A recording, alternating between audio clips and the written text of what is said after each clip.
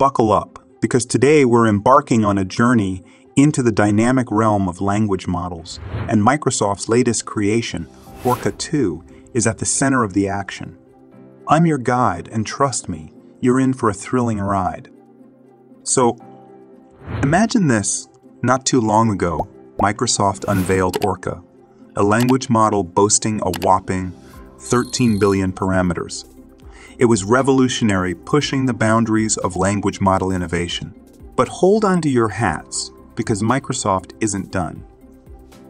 They've now rolled out Orca 2, and it's taking small language models to uncharted territory.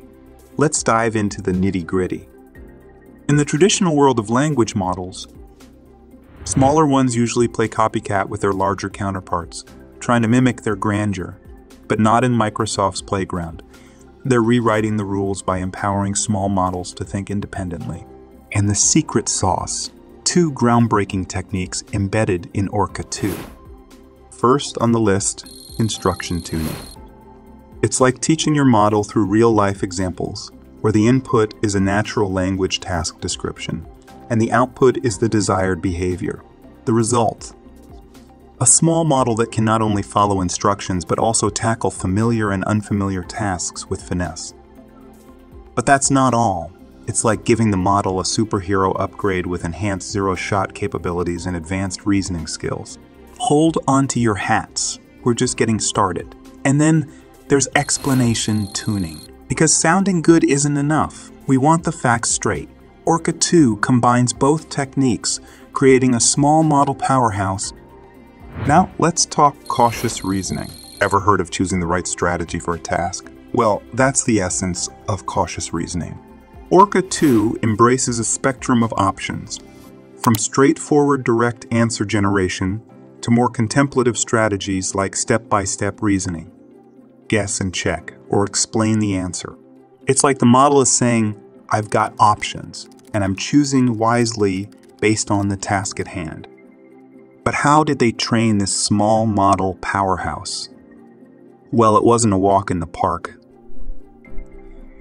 Microsoft kicked things off with a diverse collection of tasks, representing a cross section of challenges. They drew insights from Orca's performance to make informed decisions about which tasks necessitate specific solution strategies. And here's where it gets interesting. They crafted task-specific system instructions tailored to the selected strategy. It's like creating a roadmap for the model's decision-making process. But that's not all. They even erased prompts during training, a process aptly named prompt erasing letting the model learn autonomously. Genius, right? Training Orca 2 was no small feat. Microsoft cooked up a brand new dataset, a whopping 817,000 training instances to be precise. Building upon the foundation laid by Orca 1, they engaged in progressive learning, drawing data from a fusion of the original FLAN annotations, the Orca 1 dataset, and the freshly baked Orca 2 dataset. The core of the training relied on a technique known as progress learning, involving a dance between LLaMA checkpoints, FLAN v2 fine-tuning, and a grand finale on a composite dataset consisting of 1 million GPT-4 data instances from both Orca 1 and Orca 2. It's a journey of epochs. Now the litmus test. Microsoft subjected Orca 2 to a comprehensive evaluation covering everything from advanced capabilities like reasoning to fundamental tasks like text completion, grounding, truthfulness, and safety. Spoiler alert Orca 2 aced it. So, what's the future hold? With Orca 2's open source release, we're looking at a world where smaller models can flex just as hard as the big guys. Improved performance? Enhanced reasoning? Sign me up. But hold on the plot thickens. China's 01.AI and Paris-based Mistral AI are stepping into the ring with models that go toe-to-toe with the big guns. It's like a showdown of the small titans. Microsoft's Orca 2 is a genuine innovation.